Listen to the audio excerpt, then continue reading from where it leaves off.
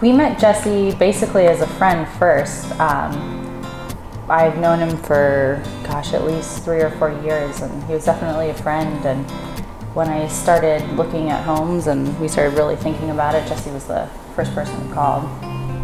So, getting into this house was extremely difficult, and Jesse was just amazing the entire way through. Um, when we started the, the whole process, uh, we made an offer on the house. They accepted the offer, and it ended up they wanted to close in about four weeks, uh, which was really, really quickly. Um, so we, we, had an appraiser come out. Uh, we had several appraisers come out actually because um, the first appraisal was was pretty far off.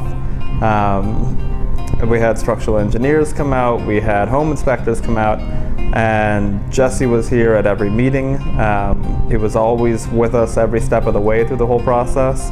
Uh, when we found issues, big issues with the house that uh, jeopardized the, the deal. Um, Jesse helped recommend people for us to, to call to, to walk through the process. Um, it was it was incredible the amount of work that Jesse put into into us getting into this home, um, and the sacrifices that he made along the way. Um, it was just it was unbelievable how far he went to to help us uh, get into this home. I think I've seen Jesse in shorts and flip flops maybe like once, and I've known him for a long time. So he's always professional. He's always punctual.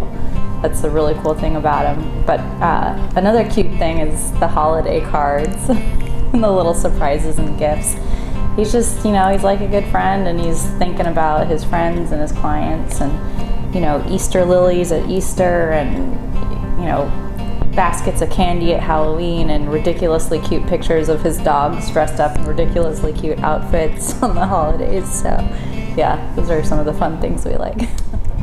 you know, overall, the most impressive thing about Jesse in a professional capacity is how hard he fought for us because I think he, you know, besides the friendship aspect of wanting us to have a house, um, from a professional point of view, he did everything he could uh, to ensure we really got what we wanted. And you just you don't find that very often, and I think that's what really separates him from a lot of people in the business. And it's just really a wonderful thing to have as a quality human being by your side helping you out. Um, Jesse was so steadfast with us in our search for a house. We were looking for something really specific on a really limited budget during a really low inventory time in the market.